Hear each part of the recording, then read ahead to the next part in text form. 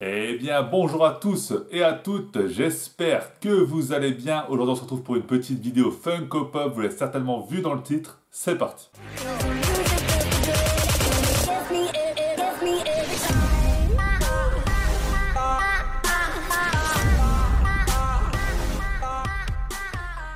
Et je vais pas vous mentir, j'ai fait une petite commande chez Popina Box. J'ai profité de quelques réductions, de quelques soldes pour commander 6 pop un petit peu qui m'ont rendu nostalgique. On va pas se mentir, on va découvrir tout ça, c'est parti. Et on va donc commencer par une pop 25e anniversaire de Jurassic Park. il s'agit de John Hammond.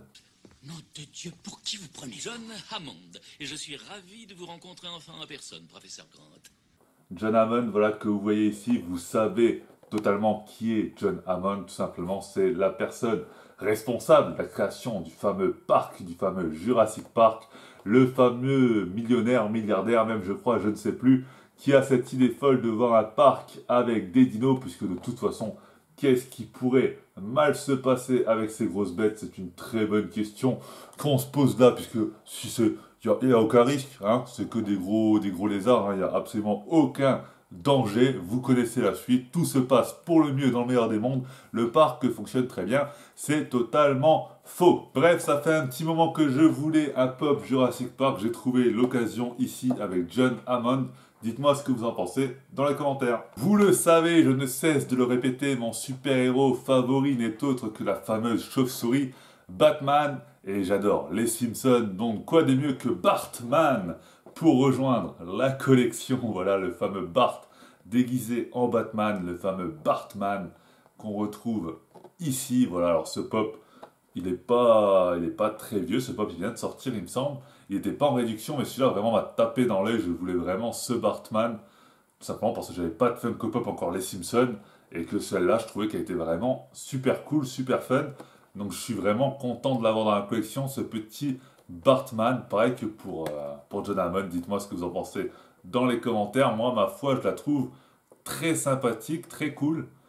Et elle est plutôt jolie, je trouve. Bah, elle est bien réalisée. Après, en général, s'il vient de dessin animé, c'est encore plus simple à faire euh, en pop qu'une figurine réaliste, forcément.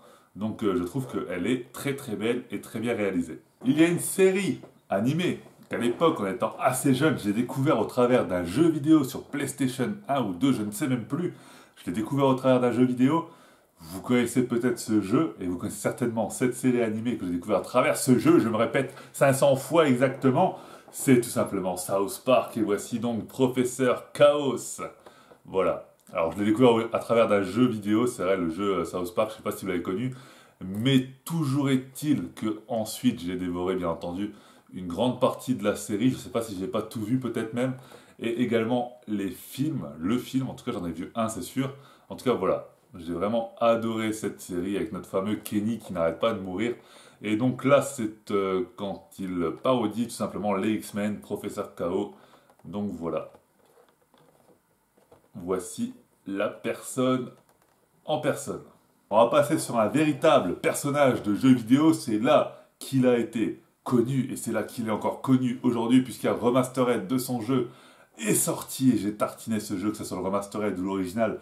J'ai passé des heures et des heures dessus. Vous voyez peut-être de qui je veux parler. Je parle bien entendu de Spyro, le dragon, le petit dragon Spyro, qui est accompagné de Spark, sa petite libellule.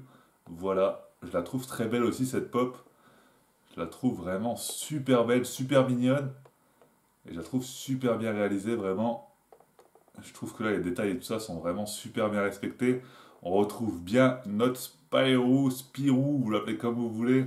Moi, j'appelle Spyro, voilà, notre petit dragon qui a connu de grandes aventures pour libérer ses compères et retrouver les œufs de, de ses compères, tout simplement. Donc voilà, le petit héros dragon. Et ensuite, on va passer à un personnage que vous connaissez certainement, vous avez certainement entendu son rire au moins une fois, vous l'avez peut-être même essayé de le reproduire, ça m'est arrivé régulièrement étant plus jeune. Ça m'arrive encore, je fait la dernière fois en live. On parle bien entendu de Woody Wood Picker, le fameux pivert.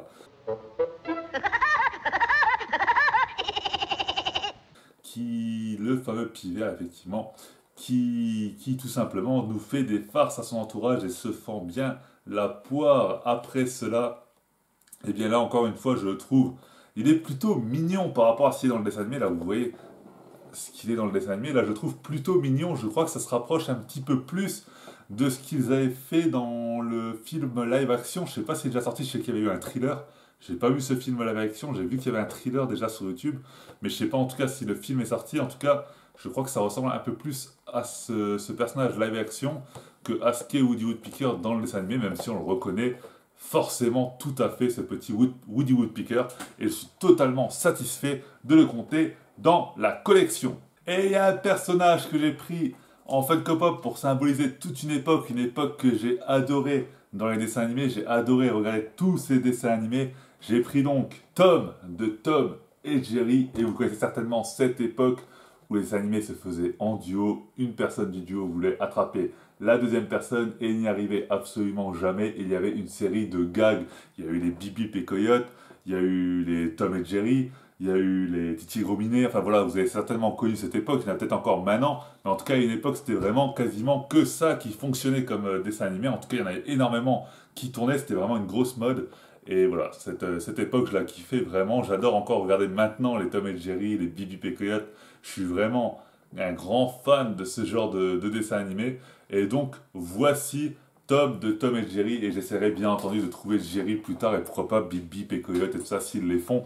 Pourquoi ne pas aussi les prendre? Peut-être parce que j'aurai bientôt plus de place pour ranger les pop, mais en tout cas, je essayé que vous inquiétez pas. Il y en a encore un paquet qui arrive. Alors voilà, cette vidéo a été assez courte. J'espère qu'elle vous a plu. J'espère vous avoir fait découvrir des pop que vous ne connaissiez pas encore. Moi, en tout cas, je vous dis à très très bientôt pour une prochaine vidéo, prochain live, etc. etc. C'était Crouch Gaming pour vous servir. Et à la plus. Ciao tout le monde. Bye bye.